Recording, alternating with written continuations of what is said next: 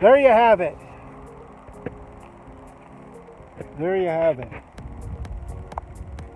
Not too bad. Can't really tell. Not too bad. Um, I think the blades need to be sharpened on the Bobcat, and uh, I need a new trim. Um, I think the blades may need just a little sharpening. But uh, yeah, it's not really too bad. I think I was here maybe about an hour. Uh, that includes the trimming, not just the mowing. Got a donkey over there. Yeah, I mean, look, it came out pretty good. Pleased with it. I'd live here. anyway, um, that's pretty much it. Uh, we're gonna go back to the house now, get some uh, tuna fish maybe. I'm hungry. Um, got a little bit of a job coming up. We're here. Um, I gotta get the trimmer going again pretty well. This is what the garden came out. Came out fairly well. And if I do say so myself, I like it.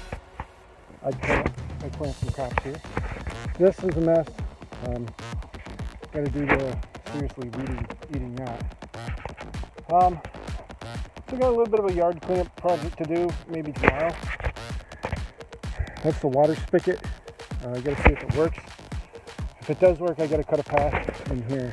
Um, I'm gonna run the risk of getting bit by a snake, and uh, I want to see if the water works. I don't think it will. Oh, water's off. It could be off in the house. Um, could be off in the house. So.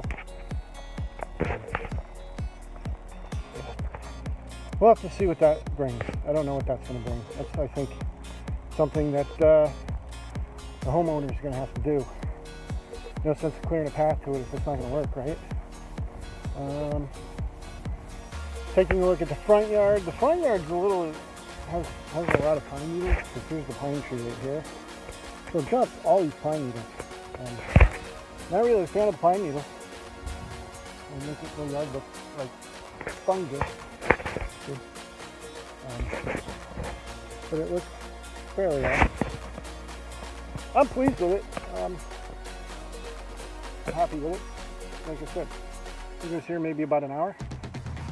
That includes trimming. So the trimmer decided not to want to trim. And uh, that was my fun for today. Till next time, see ya.